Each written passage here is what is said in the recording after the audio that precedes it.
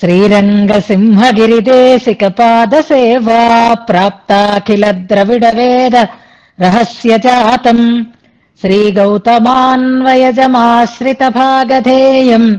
गोपालदेशिकमहम् शरणम् प्रपद्ये।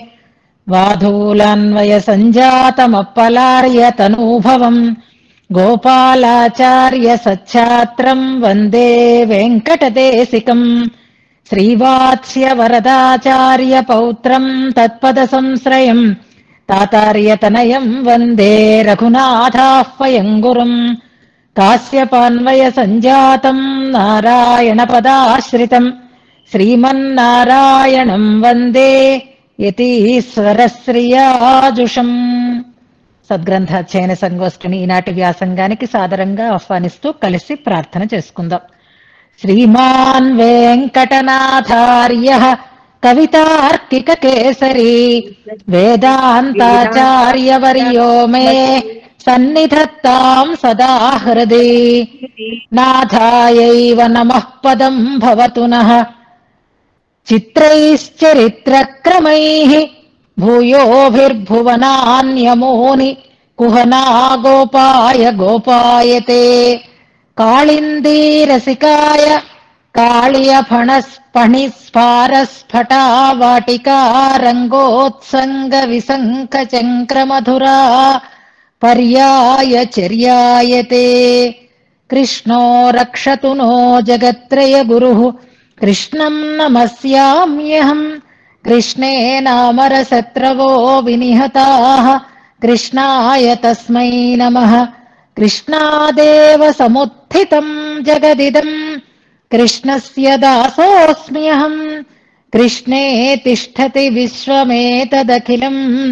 హే కృష్ణ సంరక్ష మాం ఈనాడు గోష్ఠికి స్వాగత వచనాలని తెలియచేస్తూ నిన్నటి పాఠ్యాంశాన్ని చక్కగా మననం చేసి మన ముందు ఉంచినటువంటి దీపికను మనసారా అభినందిస్తున్నాను.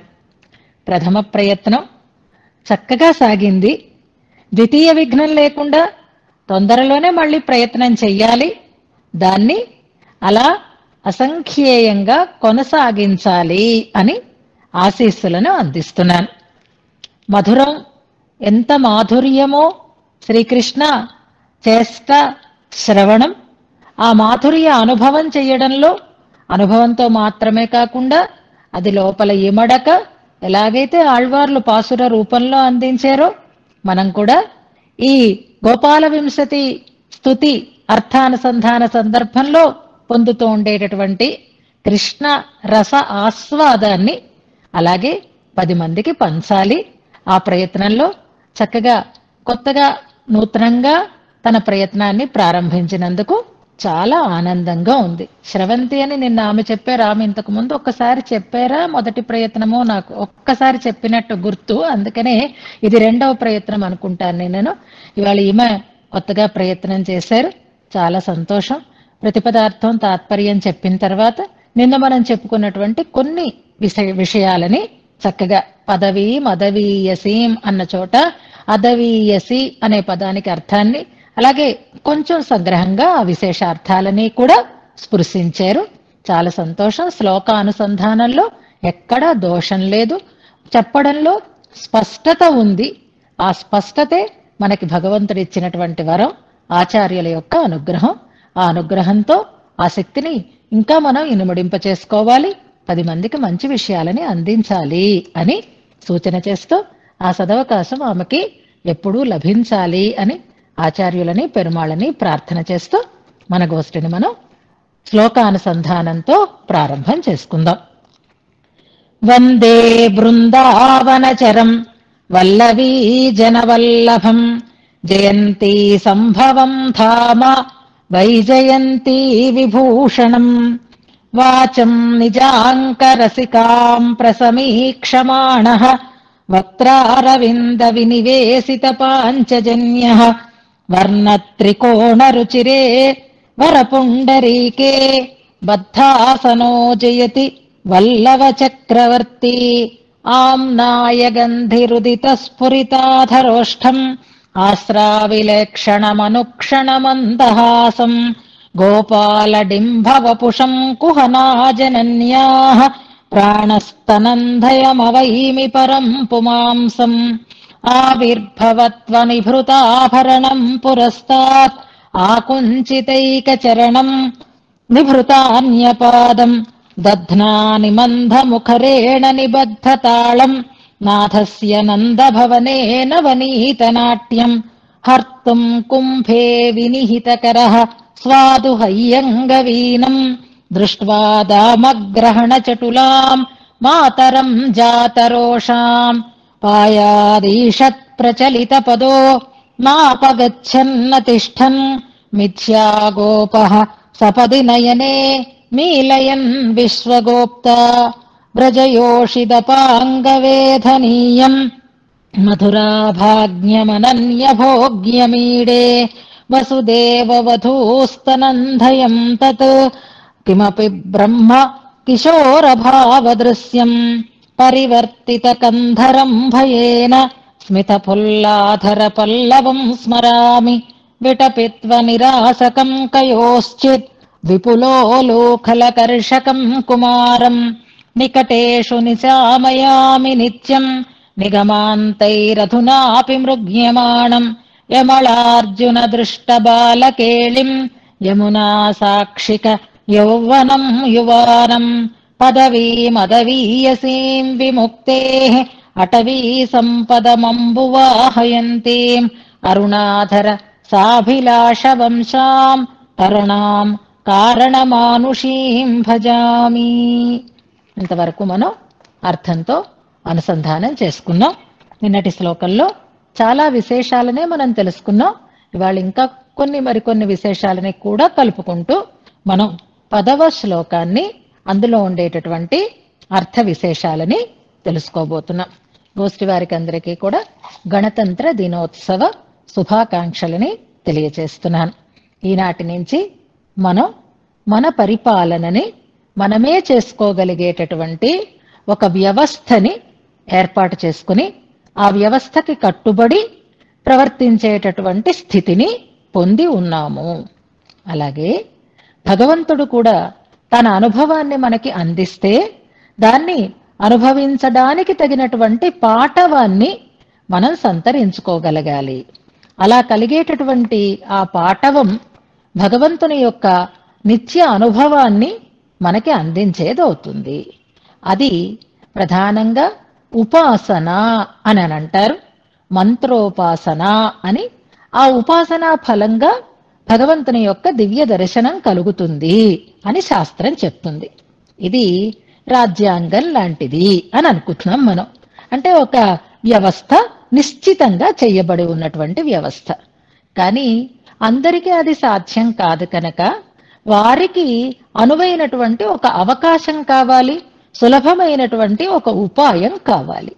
ఆ ఉపాయం ఏది? అంటే భగవంతుడే తాను మనకి సాధనం అవటం మనకి వ్యవస్థ కాదు శాస్త్రం కాదు భగవంతుడే సాధనం కావటం. సాక్షాత్తుగా ఆయనే దగ్గరుండి ఈయనని రమ్మనండి నా దగ్గర కూర్చోమనండి ఆయనకి ప్రసాదం ఇవ్వండి ఆయనకి పండు ఇవ్వండి అని సాక్షాత్తుగా అధికారే చెప్తూ ఉంటే ఇక మిగిలిన వారెవరూ అడ్డుకోవడానికి ఎలాగైతే అవకాశం ఉంటుందో అలాగే శాస్త్రం ద్వారా కర్మజ్ఞాన భక్తి ప్రపత్తుల ద్వారా పరమాత్మని చేరేటటువంటి వ్యవస్థ సుస్థిరంగా ఉన్నా వాటిని అలవరుచుకొని వాటిని అనుష్ఠించి వాటి ద్వారా ఫలాన్ని పొందలేనటువంటి ఆసక్తి కలిగిన వారికి సులభమైన ఉపాయంగా భగవంతుడు తానే అందుతాడు అని పదవీం అదవీయసీం విముక్తే అనేటటువంటి పదంలో సిద్ధ సాధన రూపమైనటువంటి భగవత్ తత్వాన్ని నిన్న మనం తెలుసుకున్నాం.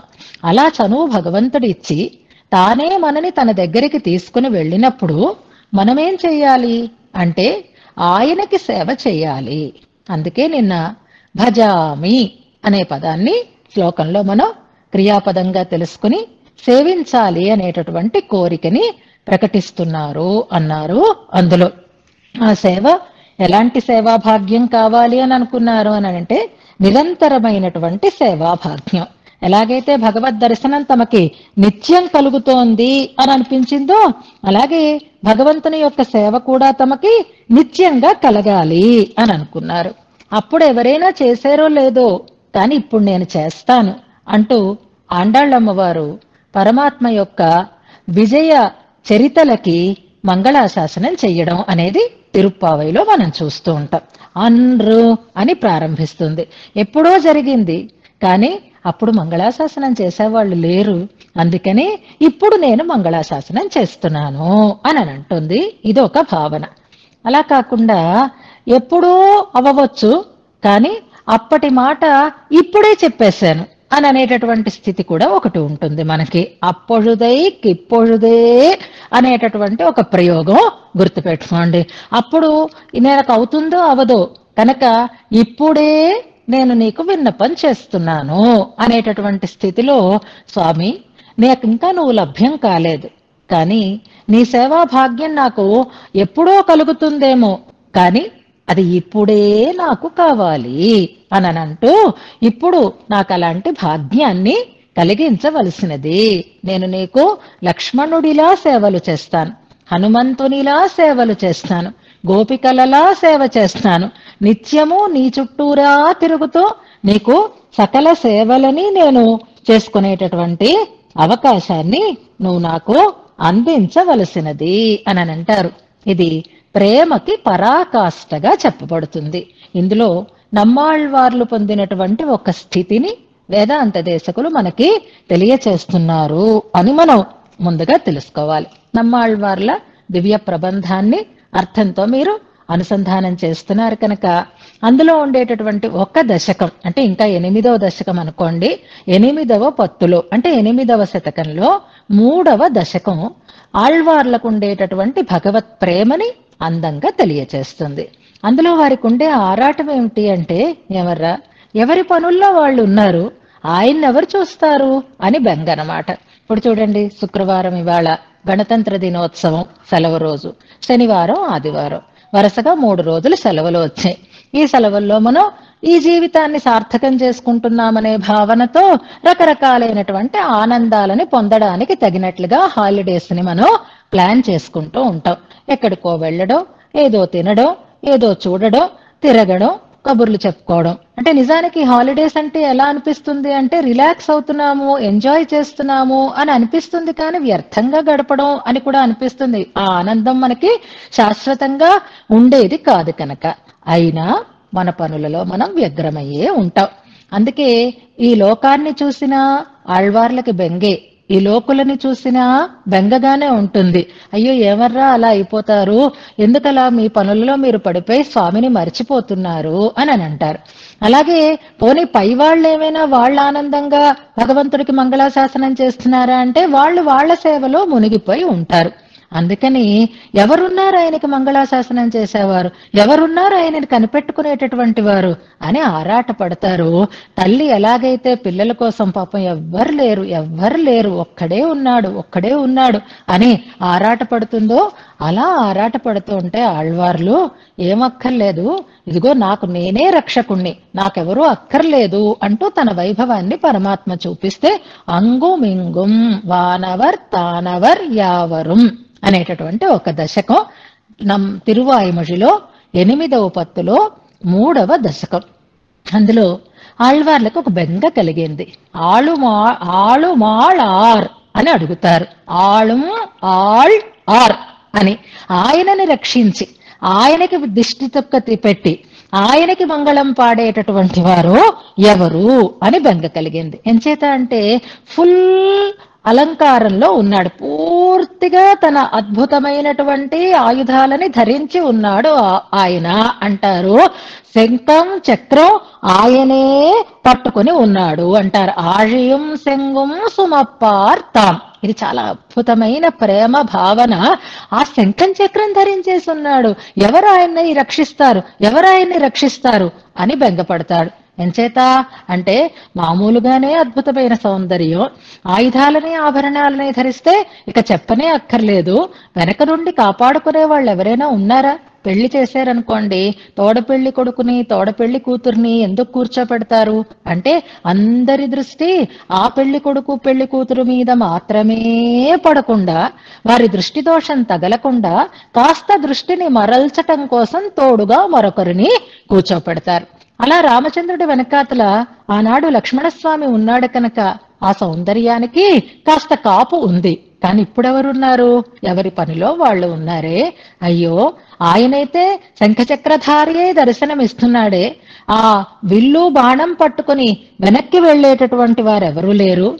మరి మీరేం చేస్తున్నారండి? అని ఎవరైనా అడిగితే నేను వెతుకుతున్నాను. నేను చేద్దామనే అనుకుంటున్నాను. కానీ నాకు ఆ భగవత్ సన్నిధిని చేరేటటువంటి అవకాశం ఇంకా పరమాత్మ ఇవ్వలేదు అంటారు ఆళ్వార్లు. అలాగే వేదాంత దేశకులు కూడా నికటేషు నిశామయామి నిత్యం అని తన చుట్టూ తిరుగుతూ ఉండేటటువంటి ఆ స్వామిని సేవించి ఆయన కరుణకి పరవశించి ఆయనకి సకల విధ సేవలను చెయ్యాలని ఆరాటపడుతూ ఆ సేవా భాగ్యాన్ని నాకు అందించమని నిన్నటి శ్లోకంలో ప్రార్థన చేశారు. అందిస్తాడా? అంటే సందేహమే లేదు. ఎంచేత లేదు? అంటే ఆయన విశేష ఆయనలో ఉండే గొప్పతనాలు రెండు చెప్పారు. ఒకటి వేణువు కోరికని తీర్చినవాడు నా కోరికలని కూడా తీరుస్తాడు. కాదు మనం అడిగితే ముక్తి పదవినే మనకి చాలా సులభంగా అందించేటటువంటి వాడు. ఏది అడిగినా దాన్ని తీర్చగలిగే వైభవం కలిగిన వాడు. ఇదే ముక్తి ఇదే మోక్షం. భగవంతుని యొక్క నిత్య సేవా భాగ్యమే మోక్షం కనుక. అలాంటి భాగ్యాన్ని అలాంటి సేవని తాను చెయ్యాలని కోరుకుంటున్నారు వెనకటి శ్లోకంలో వేదాంత దేశకులు. తర్వాత ఇప్పుడు ఈ శ్లోకంలో వేదాంత దేశకుల భావన ఏదో ముందుగా మనం పదవ శ్లోకం చదువుకుందో తర్వాత అందులో ఉండే అర్థ విశేషాలని తెలుసుకుందాం. శ్లోకాన్ని జాగ్రత్తగా గమనించండి.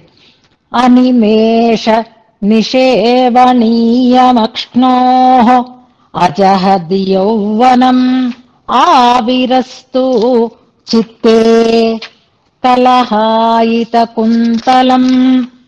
కలాపై తరణోన్మాదక విభ్రమం.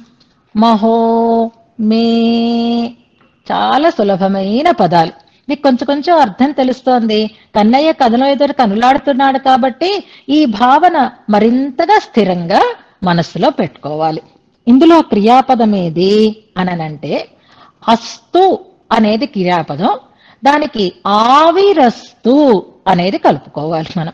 ఆవిరస్తు అంటే సాక్షాత్కరించుగాక అని అర్థం.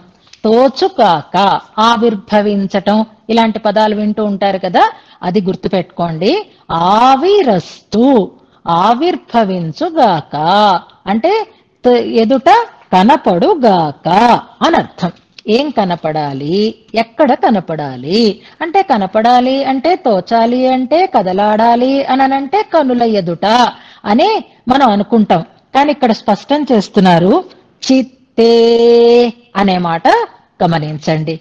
చిత్తే ఆవిరస్తు నా మనస్సులో నిలవాలి గాక. నా మనస్సుకి అది సాక్షాత్కరించాలి గాక అంటున్నారు. కనుల ఎదురుగా ఉన్న మనస్సు లేకపోతే మనం దర్శించలేం. కానీ మనస్సులో ఉంటే కనుల ఎదురుగా లేకపోయినా కంటి ఎదురుగా ఉన్నంత ఆనందం కలుగుతుంది. దర్శన సమాకారమైనటువంటి ఒక భావన ఏర్పడుతుంది కనుక చిత్తే ఆవిరస్తు అంటున్నారు. నా హృదయంలో సాక్షాత్కరించుగాక సాక్షాత్కరించు గాక. అంటే నా హృదయంలో స్థిరంగా ఉండాలి గాక అని వీరి కోరిక. ఏముండాలి? అంటే చివరి పదం. శ్లోకంలో చివరి పదం చూడండి. మహో మే అనే పదాలు ఉన్నాయి మే అంటే నా యొక్క చిత్తే చిత్తమునందు మహహ. మహహ అంటే జ్యోతి స్వరూపము అని అర్థం కాంతి అని అర్థం మహహ మే చిత్తే ఆవిరస్తు. ఆ పరంజ్యోతి నా హృదయమునందు సాక్షాత్కరించుగాక స్థిరముగా నిలుచుగాక అని ప్రార్థన చేస్తున్నారు. తమాషా చూడండి. ఇంతకు ముందు శ్లోకంలో అంటే తొమ్మిది కాదు ఎనిమిదవ శ్లోకంలో నికటేషు నిశామయామి అన్నారు. చూస్తున్నాను నా చుట్టుపక్కలే ఉంది అన్ని పక్కలా కనిపిస్తున్నాడు అని భగవద్ దర్శనం చేశారు. ఇప్పుడేమంటున్నారు? అంటే నా హృదయంలో కనపడాలి గాక అంటున్నారు. ఏదైతే నా పట్ల కరుణతో నాకు అలభ్యంగా లభించిందో అది నా హృదయంలో స్థిరంగా నిలిచి ఉండాలి. అదే కృష్ణ రూపమైనటువంటి ఒక జ్యోతి నా హృదయంలో సాక్షాత్కరించాలి అంటున్నారు. ఆ జ్యోతి ఎలాంటి వైభవం కలిగినది అనే దాన్ని మిగిలినటువంటి మాటలలో వర్ణన చేస్తున్నారు. ఇంతవరకు మనం కన్నయ్యని చూడలేదు. నిజంగా చెప్పాలి అంటే వేదాంత దేశకులు కూడా శ్రీకృష్ణుడిని మనకి సరిగ్గా చూపించలేదు. ఇవాళ ఈ శ్లోకంలో స్పష్ట స్పష్టంగా మనకి చూపిస్తూనే ఉన్నారు. అందుకని ఇవాళే అసలు మనం నిజమైనటువంటి శ్రీకృష్ణ దర్శనాన్ని చేయగలుగుతాం. ఎంచేతండి అలా అంటారు? అని అంటే రాముడు అనేసరికల్లా కోదండం ఎలా కనిపిస్తుందో కృష్ణుడు అనేసరికల్లా వేణువు చేతిలో అలాగే మనం చూస్తాం. వేణువు లేకపోతే కృష్ణుడు లేడు దాని ధనస్సు లేకపోతే రాముడు రూపం పరిపూర్ణం కాదు అని అనుకుంటాం. కానీ శ్రీకృష్ణుని దగ్గర ఆ రూప దర్శనం మనకి పూర్తిగా కలగాలి అంటే వేణువు కంటే మించినటువంటి ఒక అద్భుతమైనటువంటి అలంకారం ఆయన ఎప్పుడూ చేసుకుని ఉంటాడు. అదే నెమలి పింఛం. ఆ నెమలి పింఛాన్ని శిరస్సున ధరించి ఉన్నవాడే కృష్ణుడు అని చెప్పాలి. స్వరూప నిరూపక ధర్మం అంటారు దాన్ని. మనం చాలా సార్లు దీన్ని శాస్త్రీయంగా కూడా చెప్పుకున్నాము. ఒక వస్తువు యొక్క స్వరూపాన్ని తెలియచేసేటటువంటి అది లేకపోతే ఆ వస్తువు స్ఫురణకి రాకుండా ఉండేటటువంటి ఒక ధర్మం ఏదైతే ఉంటుందో దాన్ని స్వరూప నిరూపక ధర్మం అని అని అంటారు ఇప్పుడు చాటకి అలాగే రోలుకి అలాగే బాణకి అలాగే మరొక వస్తువుకి. తేడాలు మనకు ఎలా తెలుస్తున్నాయి అని అంటే మిగిలినవన్నీ రంగులు గుడాలు అన్ని సమానంగా ఉన్నా దాని స్వరూపాన్ని నిర్ణయించేటటువంటి ఒక ధర్మం ఉంటుందే. అది ప్రధానమైనది. అలాగే శ్రీకృష్ణుడికి స్వరూప నిరూపక ధర్మమా అనగా అన్నట్లుగా అనిపించేది నెమలి పింఛాన్ని అలంకరించుకోవటం. అది కూడా గుర్తుపెట్టుకోండి. నెమలి పింఛాన్ని ఆయన శిరస్సు మీదే మనం చూస్తాం. బొమ్మలు వేసినప్పుడు కానీ చిత్రాలు గీచినప్పుడు కానీ శిల్పాలు చెక్కినప్పుడు కానీ నెమలి పింఛాన్ని శిరోభూషణంగా వేస్తూ ఉంటారు. కానీ ఆయన నెమలి పింఛాన్ని మెడలో కూడా వేసుకునేవాడు. అనేక రకాలైనటువంటి రీతిలో ఆ నెమలి కన్నులని ఆయన అలంకరించుకునేవాడు అని మహానుభావులు పెద్దల కూడా భావన చేస్తారు. తర్వాత వ్యాఖ్యానంలో మనం దాన్ని అనుసంధానం చేసుకుందాం. అద్భుతమైన సుందరమైన రూపంతో ఎదురుగా కనపడినా నెమలిపించం లేదనుకోండి కృష్ణుడు కాడు అని కొట్టిపారేయొచ్చు. కానీ నెమలిపించం ఉంటే తిరుగు లేకుండా అది శ్రీకృష్ణుని యొక్క స్వరూపము అని మనం తెలుసుకునేటట్లుగా ఉన్న అవినాభావ సంబంధం కలిగినటువంటి ఒక అద్భుతమైన రూపాన్ని మనం ఇవాళ ఈ శ్లోకంలో దర్శనం చేస్తున్నాం. చూడండి. అనిమేష నిషేవణీయం అక్ష్ణోహో అక్షి అంటే కన్ను. అక్ష్ణోహో అంటే కనులకు అనిమేష నిషేవణీయం. అనిమేషంగా రెప్పపాటు లేకుండా నిషేవణీయం సేవించదగినది. ఆ రూపం ఆ జ్యోతి ఎంత అద్భుతమైనది అని అంటే కళ్ళ తప్పకుండా చూడాలి అనిపించే అంత అందం అన్నమాట. మరి మీరందరూ కళ్ళు ఆర్పి ఉన్నారా? కళ్ళు తెరిచి ఉన్నారా అంటాలంటే వీడియోలు ఆన్ చేసుకుంటేనే నాకు తెలుస్తుంది. ఎందుకంటే బహుశా ఇది కనులు మూతపడే సమయం. అరగంట అయింది కాబట్టి ఒక్కసారి తెరవండి. నన్ను చూడడానికి కాదు. ఆ రూపాన్ని మీరు దర్శించటం కోసం ఆ నిమేష నిషేవణీయం అక్ష్ణోహ. ఎంత అద్భుతమైన రూపం. రెప్పపాటు లేకుండా చూడాలనిపించేటట్లుగా ఉంటుందిట ఆయన యొక్క దివ్యమైనటువంటి ఆ రూపం. అంటే ఇప్పుడు అనిమేషం అంటే రెప్పలు మనకు ఉండడం వల్ల మూస్తున్నామండి. రెప్పలు లేకపోతే ముయ్యం కదా అని మీరు మమ్మల్ని అడగచ్చు. నన్ను అడగచ్చు. అలా అనకండి. కను రెప్పలు ఉన్నాయి కనుక మూతబడుతున్నాయి భగవంతుడు మాకెందుకు ఈ రెప్పలు ఇవ్వాలి? అని ఒకసారి ఆ విధాతని నిందించారు ఈ శ్రీకృష్ణ శ్రీకృష్ణుని యొక్క దివ్య రూప దర్శన లాలస కలిగినటువంటి గోపికలు. భాగవతంలో మీరు పెద్దల ద్వారా వినే ఉంటారు అయ్యో ఆ అడవిలో పొద్దున్ననగా అడవికి వెళ్ళిపోతాడు ఆయన మళ్ళీ సాయంత్రం తిరిగి వస్తున్నాడు ఆ వస్తూ ఉండేటటువంటి ఆ అందాన్ని కళ్ళార్పకుండా చూద్దామంటే ఈ రెప్పలు అడ్డంగా చేశాడు విధాత క్రూరుడై అంటారు. ఆ పద్యం కూడా మనకి ఇందులో ఉంది. చివరిలో మీరు చదువుదురు కానీ గోపికలకి శ్రీకృష్ణ దర్శనం పట్ల ఉండేటటువంటి ప్రీతి. దానికి ఏది అడ్డు కలుగుతోంది అంటే వాళ్ళకి నిద్ర రాదు పాపం. కానీ రెప్పార్పకుండా ఉండదు. అది శరీరకమైనటువంటి ఒక నిర్మాణం కనుక ఎందుకు ఈ రెప్పలు అడ్డజ్ఞ చేశాడు? ఆ ఆ ఆ ఒక్క సెకండ్ కూడా మనం ఆ దివ్య దర్శనాన్ని కోల్పోతున్నామే అని బాధపడడం మనకు కనిపిస్తుంది గోపికల భావనలో. అయితే ఇప్పుడు ఏం కావాలి?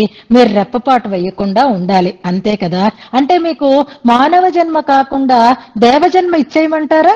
దేవతలని అనిమిషులు అని అని అంటారు. దేవతలకి రెప్పపాటు ఉండదు. వాళ్ళు కళ్ళు అర్పకుండానే ఉంటారు. వాళ్ళకి రెప్పలు మూతపడి మళ్ళీ తెరవబడేటటువంటి స్థితి ఉండదు. అంటే మీరు దేవతలలా కావాలి అని అనుకుంటున్నారా? సరేలేండి దేవజన్మ మీకు ఇస్తాను అని అంటావేమో స్వామి తప్పు తప్పు పొరపాటును కూడా నువ్వు అలాంటి వరాలు మాకు ఇవ్వాల్సిన అవసరం లేదు. ఇది ఎవరు చెప్పేశారు? అంటే మన భట్టరు వారు లాంటి మహానుభావులు చెప్పేశారు. మేము ఇలా అంటున్నామని మాకు నిత్య మాకు కళ్ళు మూతపడుతున్నాయి అంటున్నాను దేవతలా చేస్తా ఉంటూ వద్దయ్యా బాబు ఆ ఆ ఆ తక్కువ జన్మ మాకు వద్దంటారు. ఎందుకంటే దేవజన్మ అన్నిటికంటే తక్కువది మహనీయుల మహనీయులు పూర్వాచార్యుల యొక్క దృష్టిలో. ఎందుకంటే తినడం తిరగడం పడుకోవడం తినడం తిరగడం పడుకోవడం. ఇదే కదా ఈ హాలిడేస్లో మనం చేసే ఎంజాయ్మెంట్ వాళ్ళు నిత్యము చేస్తూ ఉంటున్నారు కనుక నజాత పీతామృతమూర్ఛితానాం నాకౌకసాం నందనవాటికాసు. చెప్పేశారు. అస్సలు దేవజన్మ నాకు వద్దే వద్దు అంటారు. అయితే మరి ఎలా కావాలి? రెప్పపాటు లేకుండా ఉండాలంటారు దేవజన్మ వద్దంటారు మరి ఎలా కావాలి? అంటే సదా పశ్యంతి సూరయ. గుర్తుపెట్టుకుందాం నిత్య సూర్యులు ఎలాగైతే నిత్యము నిన్ను తప్ప మరొకరిని చూడకుండా ఉండేటటువంటి స్థితి ఉంటుందో అలాంటి నిత్య సేవా భాగ్యాన్ని మాకు అనుగ్రహించు అని మనం కోరుకోవాలి. అలాంటిదే భగవంతుని యొక్క రూపం. పరమపదంలో మాత్రమే కాదు విభవ రూపుడే ఆయన. ఇక్కడికి వచ్చినప్పుడు కూడా అనిమేష నిషేవణీయం అక్ష్ణో కళ్ళార్పకుండా చూడాలంటే అన్ని మానుకొని చూడాలి అని అంటారు అది సౌందర్య వర్ణనంలో ఒక అద్భుత అద్భుతమైనటువంటి స్థితిని మనకి చూపిస్తున్నారు. అంతేనా? అంటే అవునండి ఇది వరకండి ఆయన్ని చూస్తే అబ్బా అసలు కళ్ళు మరల్చుకోవాలి అనిపించేది కాదండి. ఇప్పుడు కొంచెం వయసు వచ్చేసిందిలేండి. ఇప్పుడు కొంచెం ముసలితనం కనిపిస్తుంది. ఒకప్పుడు ఆ నాయకుడిని చూస్తే ఎంతో ఆనందంగా ఉండేది. ఇప్పుడు ఆయన ఎనభై ఏళ్ళవాడు అయిపోయాడు ఇప్పుడు ఆ హీరోలైనా హీరోయిన్లైనా ఒకప్పుడు అందంతో మరిపి మెరిసిపోయినటువంటి వారు వయస్సుతో ఇప్పుడు ఎలా కనిపిస్తూ ఉంటారు వాళ్ళు? అంటే అదే రూపం. కానీ ఆ అందం మనని ఆకట్టుకునేటట్లుగా ఉండదే. దేనివల్ల అంటే వృద్ధాప్యం వల్ల. కదా? మరి మనస్వామికి అలా ఏమైనా తేడాలు వస్తాయా? అంటే రావు. ఆయన ఎప్పుడూ యవ్వనంతోటే ఉంటాడు. అజహత్ యవ్వనం. అజహత్ యవ్వనం. జహత్ అంటే విడిచిపెడుతున్నా అజహత్ అంటే విడవకుండా ఉన్నటువంటి యౌవనం యవ్వనము కలిగిన వాడు అని అర్థం. ఆయనని ఉపనిషత్తు యువా అని కీర్తిస్తుంది. మనకు వెనకటి శ్లోకంలో యువానం అని వచ్చింది చూసారా? యువా కుమార. అని ఉపనిషత్ చెప్పినటువంటి మాట. అంచేత ఆయన ఎప్పుడూ నిత్య యవ్వన సంపన్నుడయ్యే ఉంటాడు తప్ప వయస్సుతో వచ్చేటటువంటి మార్పులు ఆయనలో మనం చూడవలసినటువంటి అవసరం లేదు. అందుకని ఆ సౌందర్యం ఎప్పుడూ రెప్పవాల్చకుండా చూడే చూసేటట్లుగానే ఉంటుంది. అజహద్యౌవనం.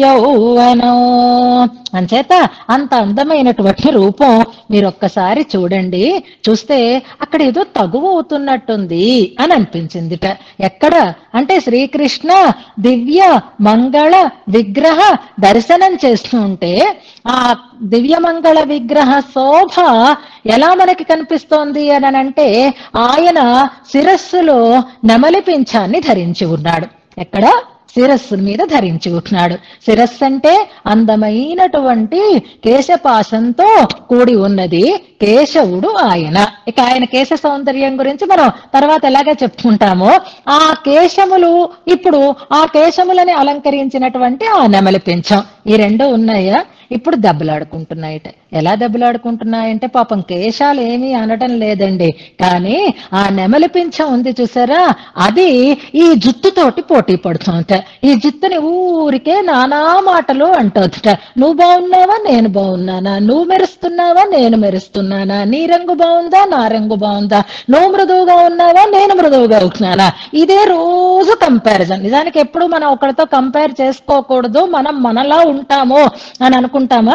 కానీ కన్నయ్య దగ్గరికి వెళ్ళేసరికల్లా కన్నయ్యకి కేశాభరణంగా ఉండేటటువంటి లేదా చూడ చూడముగా అంటే శిరోభూషణంగా ఉండేటటువంటి ఆ నెమలి పింఛానికి ఎప్పుడు ఏదో చిన్న ఇన్సెక్యూరిటీ ఫీలింగ్ అంటే అయ్యో నేను నిజంగా బాగోలేనా నాకంటే కేశాలు బాగున్నాయా అని అనిపిస్తూ ఉంటుందేమో. అందుకని కలహాయిత కుంతలం కళాపై ఎంత అందమైన మాట చూడండి. నిజానికి రెండూ బాగున్నాయి. మనం నిర్ణయించుకోలేకపోతున్నాం. కుంతలాలు బాగున్నాయా? అంటే జుత్తు బాగుందా? కేశములు బాగున్నాయా? కలాపము బాగుందా? తెలియటం లేదు. దాంట్లో ఉండే ఇప్పుడు నెమలికన్ను మీకు తెలుసు కదా ఒక రకమైనటువంటి నిగనిగ అనేది దాంట్లో మనకి కనిపిస్తుంది. ఆ నిగనిగి సహజంగా అందమైనటువంటి జుత్తులో కూడా కనిపిస్తూ ఉంటుంది. కలహాయిత కుంతలం కలాపై కలాపము అంటే నెమలి పింఛముల చేత కుంతలం కలహాయితం. అది కలహం అంటే ఇక్కడ పోటీ పడుతున్నా అని అర్థం చేసుకోవాలి. అంటే ఒకదాంతో ఒకటి కలహం ఆడుకుంటున్నాయి అంటే ఒకదాన్ని మించిన వైభవంతో ఒకటి అలరారుతో ఉండేటటువంటి అద్భుతమైనటువంటి సిఖిపించమౌళి ఆయన. ఒక మంచి పాట ఉండేది. భక్తి గీతాలు వచ్చేటప్పుడు మనకి రేడియో ఉన్నప్పుడే చాలా ఆనందంగా ఉండేది. జోహారు సిఖిపించమౌళి అని ఒక మంచి పాట. చిన్నప్పుడు మీరు వినే ఉంటారు పెద్దవాళ్ళకైతే బాగా తెలుస్తుంది. సిఖిపించమౌళి ఆయన ఎంత అందమైన సంబోధన వనమాలి అన్నట్లుగా పుండరీకాక్షుడు అన్నట్లుగా చక్రపాణి అన్నట్లుగా సిఖిపించమౌళి అనేది కూడా ఆయనకే చెందినటువంటి ఒక మంచి ఆ, ఒక అద్భుతమైనటువంటి లాంఛనం అని అనుకోవాలి. సినిమా పేరు కూడా పెడుతున్నారు. శ్రీకృష్ణ విజయం అని. వెరీ గుడ్ అలా ఇప్పుడు కలహాయిత కుంతలం కళాపై కరణోన్మాదక విభ్రమం. ఇక ఇది ఆ, ఆఖరి స్థితి అన్నమాట. ఆ స్వామి దివ్య రూపం మనని ఏం చేస్తుంది? అంటే కరణ ఉన్మాదక విభ్రమం. కరణములు అంటే ఇంద్రియములు వాటికి ఉన్మాదం కలిగిస్తుంది. అంటే పిచ్చెత్తించేస్తుంది అని అర్థం. ఉన్మాదం అంటే పిచ్చి మోహం అన్నమాట. కరణ ఉన్మాదక విభ్రమం. ఈ ఈ ఇంద్రియాలు తట్టుకోలేక మైమరచి పిచ్చి ఎక్కేటట్లుగా ఆ ఎప్పుడైతే మన ఇంద్రియాల మీద మనకి ఒక కంట్రోల్ పోతుందో అప్పుడు మనం ఏం చేస్తున్నామో తెలియనంతగా అయిపోతుంది అనమాట కరణోన్మాదక విభ్రమం. అలాంటిది ఏది అంటే మహా వెనకటి శ్లోకంలో కరుణాం భజామి అన్నట్లుగానే ఇందులో కన్నయ్య కనపడాలిగాక అని అనటం లేదు. మహా ఆ జ్యోతి మే చిత్తే ఆవిరస్తూ. నా హృదయభ్నందు తన సాక్షాత్కరించుగాక అంటున్నారు. ఆ స్వామిని ఒక అద్భుతమైనటువంటి తేజపుంజంగా భావిస్తున్నారు. అది హృదయంలో నిత్యము నిలవాలిగాక అని ఇందులో ప్రార్థన చేస్తున్నారు. బయటికి కనపడింది కాదు మనస్సులో స్థిరంగా ముద్రితం కావాలి అంటున్నారు. ఇందులో అనిమేష నిషేవణీయం రెప్పలార్పకుండా చూడాలి అనిపించే అంత అద్భుతమైనటువంటి తేజం. ఇంద్రియాలని పిచ్చెక్కించే అంత వైభవం కలిగినటువంటి తేజం. నిత్య యౌవనవంతమైనటువంటి తేజము. చక్కటి అందమైనటువంటి శిఖిపించమును ధరించి కుంతలాలతో పోటీ పడుతున్నాయా అన్నట్లుగా ఉండేటటువంటి అద్భుతమైనటువంటి ఆ రూపము నా హృదయమునందు సాక్షాత్కరించుగాక.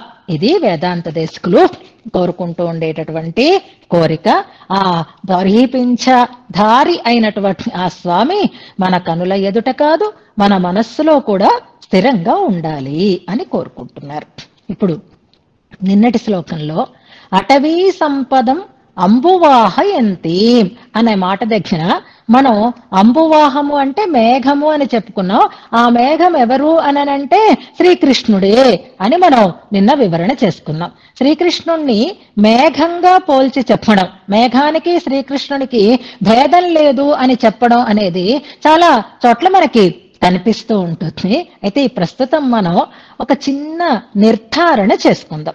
నేను ఓ మాట అడుగుతాను. మీరు నిజం చెప్పండి. మొహమాట పడకండి. లోక్యం వద్దు. స్పష్టంగా చెప్పండి. ఆలోచించి చెప్పండి. టైం తీసుకోండి. ఒక్కసారి ఆలోచించండి. కానీ నిజమే చెప్పండి. ఏం చె- ఏం అడుగుతారు? ఏం చెప్పాలి? అని అంటే మీకు స్వీట్ అంటే ఇష్టం. ఆ స్వీట్ని మీరు రకరకాలుగా ఆస్వాదించి ఉంటున్నారు. ఆ తీయదనాన్ని మీరు అనుభవించి ఉంటున్నారు. ఇదిగో మళ్ళీ చెప్తున్నాను ఏమాత్రం కన్ఫ్యూజన్ ఉండకూడదు. నేను అడిగిన దానికి సరి అయిన సమాధానం రావాలి అని నేను అనటం లేదు ఒక మహానుభావుడు అంటున్నాడు. సత్యం బ్రూహి మదీయ జీవా అంటున్నారు ఆయన. సత్యం బ్రూహి అబద్ధమొద్దు నిజమే చెప్పాలి. ఎవరిని అడుగుతున్నారు అంటే నమ్మాళ్ళవార్లు ఎలాగైతే నెంజే నెంజే నెంజే అని మనస్సుతో మాట్లాడుతూ ఉంటారో మదీయ జీవా అని అడుగుతున్నారు ఆయన. అంటే నిజానికి జీవుడే కదా ఈ శరీరంలో ఉంటాడు. జీవుడు వేరు మళ్ళీ అడిగేవాడు వేరు ఉండరు కదా. కానీ ఇప్పుడు ఒక శరీరంలో ఉండేటటువంటి ఆయన ఈ లోపల ఉండేటటువంటి ఆ జీవుడు ఈ శరీరం పేరుతో పిలువబడుతూ ఉంటాడు కనుక ఆ జీవుడు ఇంతకు ముందు ఎన్నో రకాలైనటువంటి జన్మలని కూడా పొంది ఉంటాడు కనుక ఎన్నో అనుభవాలని కూడా ఆయన చేసి ఉంటాడు కనుక నువ్వు చేసినటువంటి అనుభవాలన్నింటినీ ఒకసారి జ్ఞాపకం చేసుకో. ఇప్పుడు నేను అడిగిన ప్రశ్నకి సమాధానం చెప్పు. అంటారు సత్యం బ్రూహి మదీయ జీవా భవతా భూయో భవేద్ భ్రామ్యత. లేదు లేదండి తప్పండి నేను మళ్ళీ దాన్ని వెనక్కి తీసుకుంటున్నానండి. అని అనకండి క్వార్టర్ ఫైనల్లో అటెండ్ అవడానికి మళ్ళీ అవకాశం వచ్చిందేమో కానీ ఈయన అడిగిన ప్రశ్నకి సమాధానం చెప్పడానికి ఒకటే చాయిస్ ఉంది. ముందు మీరు టిక్ చేసేటప్పుడే ప్రెస్ చేసేటప్పుడే మీరు జాగ్రత్తగా ఆలోచించుకొని చేయాలి. మల్టిపుల్ చాయిస్ అయితే ఉంది. కానీ చూస్ చేసుకోవడంలో కరెక్ట్ ఆన్సర్ని మాత్రం యూస్ చేసుకోండి. ఏమిటైతే మల్టిపుల్ చాయిస్లు ఏమిటి ఉన్నాయి. ప్రశ్న ఏమిటి అంటే ఈ తీపి నీకు ఎక్కడైనా కనిపించిందా? అనేది ప్రశ్న. ఏ తీపి? అంటే కృష్ణేత్యక్షరయో మధురిమోద్గార క్వచిత్ లక్షిత. ఇది క్వశ్చన్ అండి. క్వశ్చన్ ఏమిటి అంటే కృష్ణేతి అక్షరయో కృష్ణ అని అన్నారా? అన్నారా లేదా? అంటే మీ నోరంతా తీపైపోయిందా లేదా? ఆ కృష్ణ అనేటటువంటి అక్షరాలలో ఉండేటటువంటి మధురిమోద్గార ఆ మాధుర్యము క్వచిత్ లక్షిత. ఇంకెక్కడైనా మీకు అనుభవంలోకి వచ్చిందా? ఏ మాధుర్యాన్ని మీరు పొందినప్పుడైనా ఈ కృష్ణ అన్నప్పుడు అనిపించినంత తీయగా ఉందా లేదా? అని అడుగుతున్నారు. ఓకే. చాయిస్ చెప్పండి. ఏమిటంటే మల్టిపుల్ చాయిస్ ఎన్ని ఉన్నాయి మీకు చెప్పండి. కిందనే అవి కూడా ఒకసారి మెన్షన్ చెయ్యండి. అంటే ఓకే ముందు వాటినే చెప్పే తర్వాత లాస్ట్లోనే క్వశ్చన్ అడుగుతారు. ఏమిట అంటే మృద్వీకారసిత ద్రాక్ష పండు తిన్నావు. అవునా కాదా? అంటే అవును. ద్రాక్ష పండు తిన్నప్పుడు ఒక క్వశ్చన్ మనకు రియాలిటీ షోస్లో ఎన్ని రకాలు ఎన్ని రకాలు వస్తున్నాయో మీరు చూస్తుంటే అవన్నీ ఎప్పుడో మన మహానుభావులు కవులు వాటిని మనకి అనుభవంలోకి తెచ్చేసారనమాట మృద్వీకారసిత ద్రాక్ష పండు తిన్నప్పుడు ఒక చాయిస్ ఒక ఒక ఆన్సర్ మనకి. సీత సమసీత లేదా కలకండ తిన్నప్పుడు అని ఒక అర్థం స్ఫీతం నిపీతం పయహ పదే పదే పాలైతే అందరూ తాగుతారు. కలకండ తినకపోవచ్చు ద్రాక్ష పండు తినకపోవచ్చు. కానీ మంచి మేగడ పాలైతే తప్పకుండా తాగుతున్నారు కనుక స్ఫీతం నిపీతం పయహ పదే పదే పాలు తాగినప్పుడు కానీ ద్రాక్ష పండు తిన్నప్పుడు క- తిన్నప్పుడు పాలు తాగినప్పుడు అని అర్థం. ఒకసారి పాలు బాగుండకపోవచ్చు. ఒకసారి బాగుండొచ్చు కదా. స్ఫీతం నిపీతం పయ ఇవి మానవుడిగా వచ్చినప్పుడు ఇక్కడ చేసేటటువంటి అనుభవాలు. కానీ జీవుడు ఎన్నో రూపాలని పొందుతాడు కనుక దేవరూపాన్ని కూడా పొంది ఉండవచ్చు కదా. అందుకని స్వర్యాతేన సుధాప్యథాయి. అప్పుడప్పుడు స్వర్గానికి కూడా వెళ్ళావయ్యా?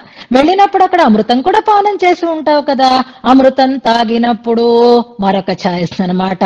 కథిత రంభాధర ఖండిత. సరే దేవలోకానికి వెళ్ళిన తర్వాత అమృతపానంతో ఆగిపోతుందా? ఆడవాళ్ళతో కూడా ఆనందాలు ఉంటాయి కదా. అలా రంభాధర ఖండిత. అలా అప్సరసలతో అనుభ అనుభవ రంభాధరానికి ఉండేటటువంటి తీపి మరెక్కడ ఉండకపోవచ్చు. అందుకని అలాంటి తీపి కానీ ఆ అప్సరసల యొక్క అధర మాధుర్యాన్ని పొందినప్పుడు కానీ అంటున్నారు. రాక్షపండు తీపి కలకండ తీపి పాలల్లో తీపి అమృతంలో తీపి అధరంలో ఉండేటటువంటి తీపి ఇవి చాయిసెస్ అన్నమాట. ఇప్పుడు కృష్ణ అన్నప్పుడు అనుభవించినటువంటి తీయతనం. వీటిని నువ్వు కంపేర్ చేసుకో. కృష్ణేత్యక్షరయో మధురిమోద్గార క్వచిల్లక్షిత. కనపడిందా ఎప్పుడైనా నీకు అలా అనిపించిందా? అని అడుగుతున్నారు. సత్యం బ్రూహి నిజం చెప్పు అని అడుగుతున్నారు. అంటే దీని అర్థం ఏమిటి? కృష్ణ అనేటటువంటి నామోచ్చారణం వల్ల కలిగేటటువంటి మాధుర్యం మరెక్కడా మనకి దొరికే దొరికేది కాదు. అది ఇహలోకంలో ఉన్న స్వర్గాది లోకాలలో కలిగేటటువంటి అనుభవాల ద్వారా కూడా మనం పొందగలిగేది కాదు. సత్యం బ్రూహి నిజం కదా నిజం చెప్పు అని అనడంలో శ్రీకృష్ణ మాధుర్యం. ఇందాక ఆమె చదివేరే దీపిక అందుకే మధురాష్టకం వచ్చింది. అధరం మధురం వదనం మధురం మధురాధిపతే రఖీలం మధురం. ఇంకా ఆ మాధుర్య స్వరూపాన్ని అనుభవించడానికి నామోచ్చారణం చేస్తే కలిగేటటువంటి దివ్యానుభవం మరెక్కడా ఉండదు అంటారు. జగన్నాథ పండితరాయలు అనేటటువంటి మహానుభావులు. ఆయనే ఆ శ్రీకృష్ణ పరమాత్మని ఒక అద్భుతమైనటువంటి మేఘమాలగా భావన చేస్తున్నారు కళిందిగిరి నన్ కళిందగిరి నందిని తటద్రుమ తట సురద్రుమాలంబిని మదీయ మతి చుంబిని భవతి కాపి కాదంబిని. అంటారు. అది ఒక అద్భుతమైనటువంటి మేఘమాల ఆ యమునా నదీ తీరంలో అలా అలా అలా సంచరిస్తూ ఉంటుంది అంటారు. అందుకే ఆ స్వామిని మేఘంతో పోలిస్తే ఆ స్వామి చుట్టూ తిరుగాడేటటువంటి గోపికామణులందరూ కూడా మెరపు లాంటి వారు. జాగ్రత్తగా భావించండి. ఇది విశ్వనాథ వారి యొక్క అద్భుతమైనటువంటి భావన. మబ్బు వేరు మెరుపు వేరు కాదు. మబ్బు మెరుపు రెండు కలిసే ఉంటాయి. ఒక్కొక్కసారి మెరుపు ప్రకాశాన్ని పొందుతుంది మబ్బు మనకి కంటికి కనిపిస్తూ ఉంటుంది.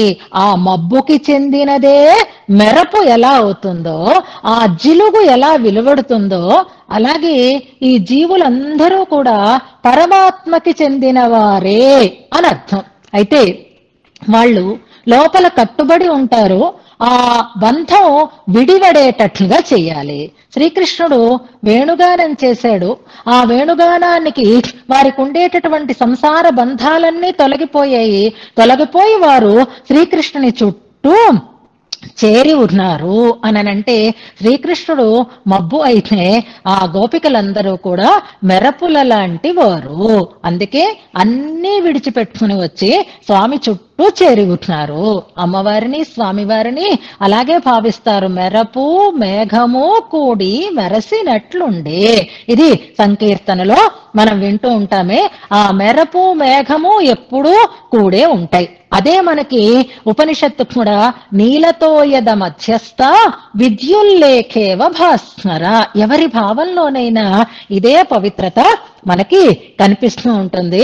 అలాంటి అందమైన అద్భుతమైన సుందరమైనటువంటి రూప దర్శనాన్ని మనం ఇప్పుడు చేస్తున్నాం. ఇందాక మనం నెమలి పింఛం గురించి చెప్పుకున్నాం కదా ఇవాళ శుక్రవారం.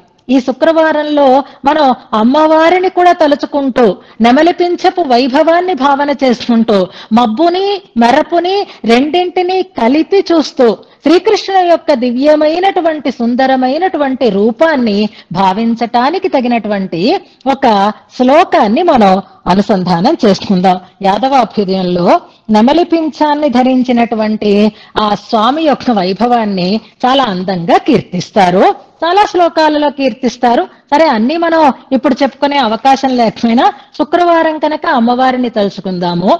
విశ్వనాథ వారి భావనలో జీవుడు పరబ్రహ్మ అనే శ్రీకృష్ణుడు గోపికలు అని మనం భావన చేసుకుందాము. అందంగా అలంకారంగా పెట్టుకునేటటువంటి నమలి పింఛాన్ని ధరించినటువంటి కన్నయ్యని కూడా మనం చూడాలి అని అంటే ఎలా ఉన్నాడట ఆయన? అంటే నెమలి పింఛాన్ని శిరస్సులో ధరించడం మనం చూసాం. సరే అది తర్వాత మనం తెలుసుకుందాము. అంతటా ధరిస్తాడు. మెడలో కూడా నెమలి పింఛపు మాలికలని ఆయన ధరించి ఉంటాడు. ఇప్పుడు ఇవాళ రేపు మనకి పువ్వులే కాకుండా పెరుమాళ్ళకి అలంకారంగా నెమలిపించపు దండలు కూడా లభిస్తున్నాయి. ఆ దర్శనాన్ని కూడా మనందరం చేస్తున్నాం కనుక మనం సాక్షాత్కరించుకోవడం పెద్ద కష్టమేమీ కాదు. ఇప్పుడు స్వామి. నీలమేఘ శ్యాముడు ఆయన కాదు. నీలమేఘమే ఆయన. ఆ నీలమేఘము ఆ వక్షస్ విశాలమైనటువంటి వక్షసీమ మీద చక్కగా నిండైనటువంటి నెమలి పించపు మాలిక వేలాడుతూ ఉంది. గమనించండి మీరు. అలా నెమలి పించపు మాలికతో నిండి ఉన్నటువంటి పరుచుకుని ఉన్నటువంటి ఆ వక్షసీమలో ఇప్పుడు ఏ కలర్ రిఫ్లెక్ట్ అవుతోంది? ఏది మనకి బాగా కనిపిస్తోంది? అనేది చూడాలి. స్వామి వక్షసీమని పెట్టకుండా ఉండేటటువంటి తల్లి అమ్మవారు లక్ష్మీ అమ్మవారు నిత్యాన పాయిని అని కదా ఆమెని మనం అని అంటాం. ఎక్కడ ఉంటుంది? అంటే వక్షసీమలోనే ఉంటుంది. ఎలా ఉంటుంది? అంటే అందంగా ఉంటుంది. అది కాదండి. అందంగా ఉండడా స్వామి మాత్రం? కానీ ఎలా ఉంటుంది? అంటే ఏ రంగులో ఉంటుంది అని అడుగుతున్నామండి. అంటే అమ్మవారి గురించి వచ్చేసరికల్లా ఇంకా మనకి ఆ సందేహమే లేదు. మంచి హిరణ్య వర్ణ అయి ఉంటుంది. హిరణ్యవర్ణ అని శ్రీ సూక్తంలో మనం చెప్తాం కాబట్టి ఆమె బంగారపు రంగులో మెరసిపోతూ ఉంటుంది. అవునా కాదా? బంగారపు రంగులో ఆమె మెరసిపోతూ ఉంటుంది అని అనుకోవడానికి ఇంకా బాగా మనం భావించుకోవాలి అంటే శుక్రవారం కనుక ఒక్కసారి శ్రీగుణరత్న కోసం దగ్గరికి వెళ్ళండి. వెళితే అందులో అమ్మ యొక్క వైభవాన్ని చెప్తూ భట్టరు వారు చెప్పిన ఒక మంచి మాటని గుర్తు తెచ్చుకోవాలి అంటే కనక నికష చెంచ చెంపక అనేటటువంటి శ్లోకాన్ని గుర్తు చేసుకుందాం. చెంచ చెంపక అంటున్నారు. చంపకమాల సంపంగి మాల కదులుతూ ఉంటే ఎలా ఉంటుందో అలాంటి వర్ణము లేదా హిరణ్య వర్ణము అని మనం అనుకుందాం. ఆ బంగారపు రంగులో ఉండేటటువంటి ఆ తల్లి ఆ నల్లటి వర్ణం కలిగిన మేఘవర్ణం కలిగినటువంటి స్వామి వక్షసీమలో ఒదిగి ఉంది ఇప్పుడు. ఇప్పుడు ఆమె నిజానికి బంగారపు వన్ని కానీ ఫ్లాష్ ఏ కలర్ ఫ్లాష్ అవుతుంది ఆమె మీద? అంటే నీలి వర్ణం ఎక్కువగా ఆమె మీద రిఫ్లెక్ట్ అవుతూ ఉండడం చేత సహజంగా బంగారు వన్నె కలిగినది అయినా ఆమె ఆ హృదయ సీమలో ఉండడం చేత ఎలా కనిపిస్తుందిట అంటే ఆమె కూడా నీలిమేఘం రంగులోనే ఉందా అన్నట్లుగా అధికంగా నీలవర్ణం కలుగుతూ ఉంటుంది కనిపిస్తూ ఉంటుందిట. అక్కడ ఆమె అసలు వర్ణం కూడా బంగారు వర్ణం కూడా ప్రతిఫలిస్తూ ఉంటుందిట. అవునా కాదా? ఇప్పుడు నెమలి రేపించపు నెమలి కంఠాన్ని మీరు చూడండి ఆ నెమలి పించపు రంగులని చూడండి ఆ దండని మెడలో చూస్తే ఇప్పుడు స్వామి మెడలో ఉండేటటువంటి ఆ దండ కూడా బంగారంలో ఆ పచ్చవర్ణాన్ని ఒక్కొక్కసారి ప్రకాశింపచేస్తుందిట. అంతటా పరుచుకుని ఉండేటటువంటి టిష్యూ కలర్ లాగా. కానీ ఆ మేఘవర్ణుడి యొక్క వక్షసీమని అంటిపెట్టుకుని ఉంది కాబట్టి ఎక్కువగా నల్లతనాన్నే కనపరుస్తూ ఉంది అంటారు. కృతాస్పద కృష్ణ భుజాంతరాళే ప్రాలంబ బర్హావళిరాభాసే అలా మెడ నుంచి మోకాళ్ళ వరకు జాలువారు జారి పడుతూ ఉండేటటువంటి ఆ ఆ బర్హావళి అంటే ఆ నెమలి పింఛపు మాలిక ఎలా ప్రకాశించింది అంటే విశుద్ధ హేమద్యుతి అబ్ధి కన్యా విశుద్ధ హేమో అది కూడా కల్తీ బంగారం కాదు. ఆ ఇరవై నాలుగు క్యారెట్ల బంగారం ఎలా మెరిసిపోతుందో విశుద్ధ హేమద్యుతి అబ్ధికన్యా ఆ అమ్మవారిని ఒక్కసారి తలుచుకుని మనం పాదాలకి నమస్కారం చేసుకుందాం. ఆ తల్లి పద్మాసనాసీన అయి స్వామి వక్షసీమలో వేంచేసి ఉన్నటువంటి స్థితిని మనం ఒకసారి భావన చేసుకుంటూ శ్యామాయమానేవా తదంగ కాంత్యా ఎంత అందమైన భావన. ఆ స్వామి యొక్క ఆ దివ్యమంగళ విగ్రహపు కాంతి వల్ల ఆమె బంగారపు వర్ణంతో మెరిసిపోతున్నా. అంతకంటే కూడా శ్యామాయమానేవా. నల్లగానే నీలివర్ణంలోనే కనిపించినట్లుగా కనిపిస్తోందా అన్నట్లుగా ఉందిట. ఆ నెమలి కంఠపు మాలిక స్వామి మెడలో అంటారు. యాదవాభ్యుదయంలో మనకి వేదాంత దేశికులే. అలాగా మెరపు మేఘము మెరపు తళుకులు ఉన్న మేఘంలో ఒదిగి ఉండేటప్పుడు మేఘపు కాంతే అధికంగా ఫలించినట్లుగా స్వామి శిరస్సున ధరిస్తే కేశాలతో పోటీ పడుతోంది. స్వామి మెడలో ధరిస్తే అమ్మవారిలాగే తాను కూడా తన కాంతిని తగ్గించుకొని అప్పుడప్పుడు పచ్చగా ప్రకాశిస్తోంది. ఎక్కువగా నీలవర్ణంతోనే ప్రకాశిస్తోంది అని అంటారు ఆ స్వామి చెప్పాను కలహాయిత కుంతలం కళాపై అన్ని చోట్ల అందరూ ఆయన నెమలి పింఛాన్ని చూసి మురిసిపోతారు. అది పక్కన పెట్టండి. కానీ ఆ నెమలిపించాన్ని అలంకరిస్తే ఆ నెమలి పింఛంతో కూడినటువంటి ఆ స్వామి యొక్క శిరస్సుని చూసి ఆ దివ్యమైనటువంటి సౌందర్యాన్ని చూసి యశోదాదేవి ఎలా పరవశించిపోతుందో చెప్తారు మనకి అందులో. ముహుస్పృశంతి ముముదే యశోదా అంటారు. ముహుస్పృశంతి ముముదే యశోదా ఆ పిల్లవాడిని ఇలా ఒళ్ళంతా రాస్తూ ఆయనకు అలంకారాలు చేస్తూ ఆమె మాటి మాటికి మాటి మాటికి ఆ సిఖిపించాన్ని తడుముతూ ఉంటుందిట. అలా తడుముతూ ఆనందాన్ని పొందుతూ ఉంటుందిట యశోదాదేవి. ముగ్ధాంగనా మోహన వాంశికేనా. ఆయన వేణునాదం చేస్తాడు. అంగనలని ఆ గోపాంగనలని మైమరపింప చేసేటటువంటి వేణునాద విలోలుడైనటువంటి ఆ స్వామి శిరస్సున ధరించినటువంటి ఆ నెమలి పింఛాన్ని ముట్టుకొని స్పృశించి. ఒకసారి కాదు మాటి మాటికి మాటి మాటికి మాటి మాటికి స్పృశిస్తూ అంటారు. కొన్ని కొన్నింటిని స్పృశించే అవకాశం ఉండదు. కొన్ని కొన్నింటిని ముట్టుకోకుండా ఉండలేం మనం. అలాగే ఆ తల్లి దగ్గరగా ఉండి ఇప్పుడు స్వామివారి త్రిదండాన్ని ధరించి ఉంటారనుకోండి ఆ త్రిదండాన్ని అయితే ఎవరూ స్పృశించడానికి అవకాశం లేదు. స్వామివారి పాదాలు ఉన్నాయనుకోండి ఆంతరంగికులైనటువంటి దాసులే కింకరులే వాటిని స్పృశించడానికి తగినటువంటి అవకాశం ఉంది. కానీ కన్నయ్యనైతే అందరూ ముట్టుకోవచ్చు అందరూ ముద్దు పెట్టుకోవచ్చు అందరూ అక్కున చేర్చుకోవచ్చు అందరూ ఒళ్ళు నిమరచ్చు అందరూ రెండు పిడిగుద్దులు కూర్చోచ్చు అలా దొరికాడు కదా. స్వామి అందుకని అడ్డు లేదు అక్కడ తనకే కొత్త కాదు. అయినా యశోదకి కూడా మురిపమేంట?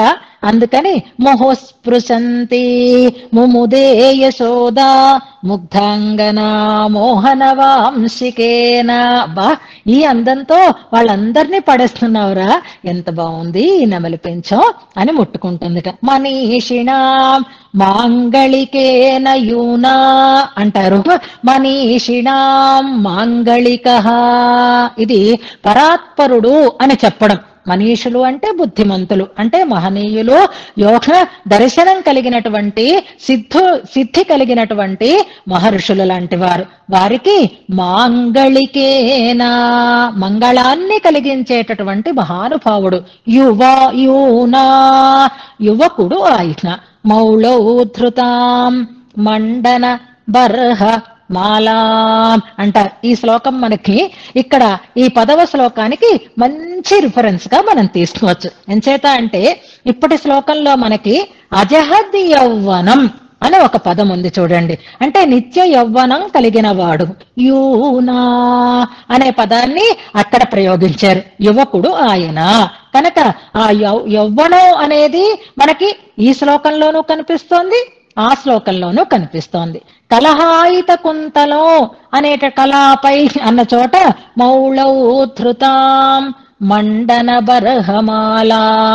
శిరస్సులో సికిపించాన్ని ధరించినటువంటి వాడు అనే అర్థంలో మనకి తెలుస్తోంది. అలాగే ఆయన సౌందర్యాన్ని చూసి మురిసిపోయినటువంటి వారు కాబట్టే గోపాంగనలకి వేణునాదంతో మైమరపుని కలుగ చేస్తూ ఉండేటటువంటి ఆ స్వామి యొక్క అలంకారాన్ని యశోదాదేవి కూడా మాటిమాటికి స్పృశిస్తూ ఆనందాన్ని పొందింది అని అంటారు అలాంటి అద్భుతమైనటువంటి ఈ అందాన్ని చూసి మురిసిపోతున్నారు. మనీషిణాం మాంగళిక అంటే ఏమండి మీరెంత చెప్పండి? కృష్ణ పక్షపాతంతో మీరు మాట్లాడుతున్నారు. నిజానికి అందగాడు అంటే రామచంద్రుడే అని ఒక ప్రతిపక్షం తయారైంది. అవునా కాదా? అంటే అందంలో మగవాళ్ళ అందాన్ని చెప్పాలి అంటే రాముడి అందాన్నే చెప్పాలి ఆడవాళ్ళ అందాన్ని చెప్పాలి అంటే ద్రౌపదిని అందగత్తగా చెప్పాలి. ఇది నిశ్చయమైంది కదా. మరి ఇప్పుడు మీరు ఇంత పొగుడుతున్నారు. నిజానికి పుంసామోహన రూపాయ అని వాల్మీకి మహర్షి ఎప్పుడో చెప్పేశారు కదా ఆ ఋషులు ఏమి అక్కర్లేదనుకున్న వాళ్ళకి కూడా ఆడవాళ్ళమై ఆయన్ని అనుభవించాలి అని అనిపించిందే. అంతటి అందం ఈయనలో ఉందా? అలా ఋషులని ఈయన మైమరిపింప చేశాడా అంటే అయ్యో మీకు తెలియదా? రాముడు దండకారణ్యానికి వెళితే అప్పుడు చూసి వాళ్ళు మోహపడ్డారు. కానీ మావాడు ఎక్కడికి వెళ్ళలేదు. వాళ్ళ తనింట్లో తానే ఉన్నాడు. తనింట్లో తానే పారాడుతున్నాడు. ఇంకా పెద్దవాడు కూడా అవలేదు అలా పారాడుతూ తిరుగుతూ ఉండేటటువంటి ఆ పిల్లవాడిని చూసి చూడ్డానికి వచ్చి చూడాలి అని అనుకుని అన్ని పనులు మానేసి ఉన్నవారు చూడండి. ఆ ఋషి మండలి అంతత మునిమండలి అంతా అంటారు. రాముడు పెద్దవాడయ్యే అందం వాళ్ళని ఆకర్షిస్తే మణివిడంబిని తస్య మనోహరే వపుషి అనే చోట వ్రతమముంచత వేదమముంచత జపమముంచత హోమమముంచత అంటారు. కనుక కృష్ణుడి అందం కూడా మునిమండలిని అలాగే ఆకర్షించింది అన్నీ వదిలి దాన్ని అనుభవించాలి అనేటట్లుగా చేసింది అనడానికి ఇంతకంటే వేరే ఉదాహరణ మనకి అవసరం లేదు అని అంటారు అలాగే మధుసూదన సరస్వతి అనేటటువంటి ఒక మహానుభావుడు అద్భుతమైన మాట ఒకదాన్ని చెప్తున్నారు ఏమర్రా? మీరేం చేస్తారు? మీరేం కావాలంటే అది చేసుకోండి. నేను మాత్రం ఇదే చేస్తాను అని చెప్తారు. ఏం చేస్తారు మీరు? మూడు దాటిపోయింది కాబట్టి మేము ఎగ్జిట్ అయిపోతాము అంటారా మీ ఇష్టం. కానీ నేనేం చేస్తాను? అంటే ఈ శ్లోకార్థాన్ని పరిపూర్ణం చేస్తే కానీ ఇక్కడి నుంచి కదలను. ఎందుకంటే నా దృష్టి దీని మీద ఉంది. మీ దృష్టి దేని మీద ఉంటే మీరు అలా చెయ్యండి. ధ్యానాభ్యాస వశీకృతేన మనస నిర్గుణం నిష్క్రియం జ్యోతి కించన యోగినో యది పరం పశ్యంతో పశ్యంతి తే పశ్యంతి పశ్యంతు తే. మీకు జ్యోతి దర్శనం కావాలి. మాకు జ్యోతి దర్శనం కావాలి. అయిపోయిందండి మకర సంక్రాంతి అందరూ వెళ్ళి అక్కడ జ్యోతి దర్శనం చేసేసారు. మళ్ళీ ఆ దర్శనం కలుగుతుందా అంటే ఎందుకు కలగదు? ధ్యానాభ్యాసాదులతో మనస్సుని వశం చేసుకుని ఇంద్రియాలనన్నింటినీ నిగ్రహించుకొని నిగ్రహించుకుని అంతర్ముఖం చేసుకుని లోపల ఉండేటటువంటి పరంజ్యోతి తత్వాన్ని మీరు చూస్తే చూడండి. కష్టపడి సాధించుకోండి. అలాంటి దివ్య జ్యోతి దర్శనం చెయ్యాలనుకున్న వాళ్ళు చెయ్యొచ్చు. No objection. మాకేమీ అభ్యంతరం లేదు. ఆయన నిర్గుణుడు నిరాకారుడు అని చెప్పేటటువంటి అద్వైత సిద్ధాంతానికి చెందినటువంటి మహానుభావులు మధుసూదన సరస్వతి భగవత్ సాక్షాత్కారం అంటే అలా జ్యోతిని మనస్సులో నిలుపుకోవడం అనేటటువంటి స్థితి కలిగినటువంటి వారు చెప్తున్నటువంటి మాట. కానీ నాకేం జ్యోతి కావాలి? నాకే రూపం కావాలి అంటే అస్మాకంతో మాకైతే తదేవ లోచన చమత్కారాయ భూయాత్ చిరం అంటారు. నా కంటి ఎదురుగా నా కంటిని మైమరపింప చేసేటట్లుగా స్థిరంగా నాకే దర్శనం కావాలి అంటే నా ఎదురుగా అసలు ఏం కనపడుతోంది అంటే కాళింది పులిరోదరే యత్కిమపి తం నీలం మహో ధావతి అంటారు. యమునా నదీ తీరంలో అనిర్వచనీయమైనటువంటి అందం కలిగినటువంటి నల్లటి వెలుగు. నీలం మహా అంటారు. ఆ నల్లటి జ్యోతి అలా తిరుగుతోంది. అదే లోచన చమత్కారాయ భూయాత్. నా ఎదురుగా ఎప్పుడూ ఆ దర్శనమే కావాలి అని కోరుకుంటారు మధుసూదన సరస్వతి. ఈ శ్లోకం దేనికి అంటే మహాహ అనే పదం ఉంది చూసారా? మన ఈ శ్లోక ఇప్పుడు శ్లోకంలో కూడా మహో మే మహహ అంటే జ్యోతి అని అర్థం. ఆ భగవంతుని యొక్క దివ్య నీల జ్యోతి ఎప్పుడు నా హృదయంలో స్థిరంగా ఉండాలి గాక. అది ఇప్పుడు నన్ను ఉన్న చోట ఉన్న ఉండనివ్వకుండా చేస్తుంది కరణోన్మాదక విభ్రమం అనే పదం ఒకటి మనకి మిగిలి ఉంది మిగిలినవన్నీ మనం వివరణ చేసుకున్నాం. ఇంద్రియాలని స్థిరంగా ఉండనివ్వకుండా విభ్రమాన్ని కలిగించేటటువంటి అద్భుతమైన సౌందర్యం అంటున్నారు. ఆ ఇంద్రియోన్మాదం ఎలా కలుగుతుంది? ఎవరు పొందేరు? ఎప్పుడెప్పుడు పొందేరు అనే విషయాలని యథావకాశం మనం రేపు అనుసంధానం చేసుకుంటూ ముందుకు సాగుదో. ఈనాటికి మనం ఈ అర్థానుసంధానాన్ని ఇక్కడితో నిలుపుకుంటూ ఒకసారి శ్లోకాన్ని చదువుకొని మంగళాశాసనంతో మన ఈ వ్యాసంగాన్ని పూర్తి చేసుకుందాం. నిన్న మనం కొన్ని శ్లోకాలని అనుసంధానం చేస్తున్నాం అతిమానుష స్తవంలో. వీణ వేణునాదం గురించినటువంటి ప్రస్తావన వచ్చింది కనుక ఆ వేణునాద వైభవాన్ని తెలియచేసేటటువంటి శ్లోకాలు రెండు ఉంటాయి. అందులో మనం చదువుకుందాము అని అనుకున్నాం. అవి మీరు చదివిన తర్వాత మనం మంగళాశాసనం చేసుకుంటాం.